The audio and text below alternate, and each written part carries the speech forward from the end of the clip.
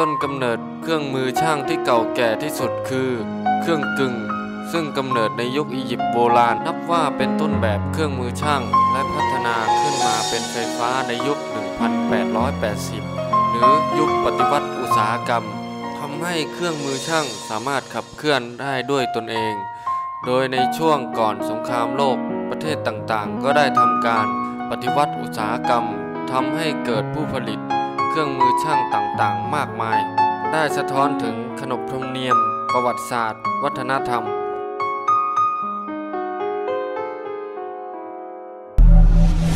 แล้วเครื่องมือช่างยี่ห้อไหนดีล่ะ เครื่องมือช่างยี่ห้อนี้สิ ดีใช้มาตั้งนานแล้ว หลายคนคงเคยได้ยินประโยคเกี่ยวกับเครื่องมือช่างว่า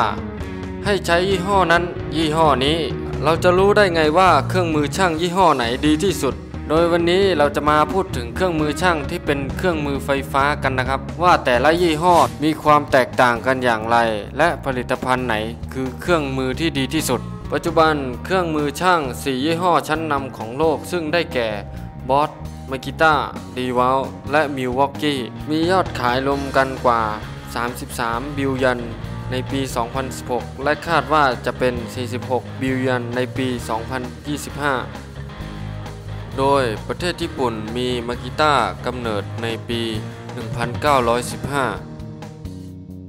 ฝั่งอเมริกาได้มีการผลิตเครื่องมือช่างอย่างดีว l ในปี 1923 ทางเยอรมันกับมีเครื่องมือช่างยี่ห้อบอสมานานตั้งแต่ปี 1886 ปี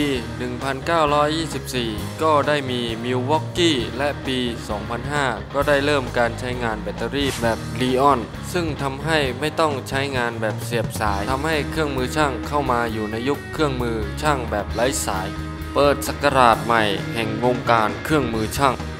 ปัจจุบันทั้ง 4 ยี่ห้อ ถือได้ว่าเป็นยี่ห้อเครื่องมือช่างที่ดีที่สุด ขึ้นชื่อเรื่องความทนทานและเทคโนโลยี มีการแข่งขันกันเรื่อยมา และมีข้อเสียแตกต่างกันไป ดังคำที่ว่าคอนกรีตต้องบอสไม้ต้องมากิต้าเหล็กต้องมิลวอกกี้ กับดีวอล